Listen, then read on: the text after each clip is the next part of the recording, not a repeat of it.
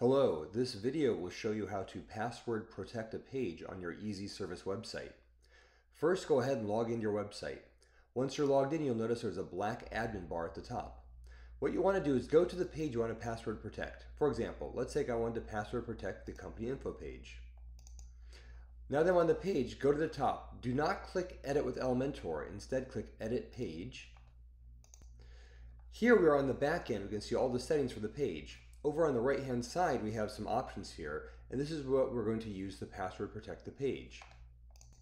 Go over to where it says visibility and click edit right there. We'll see some options. The second one is what we're going to use. Public means anyone can see it.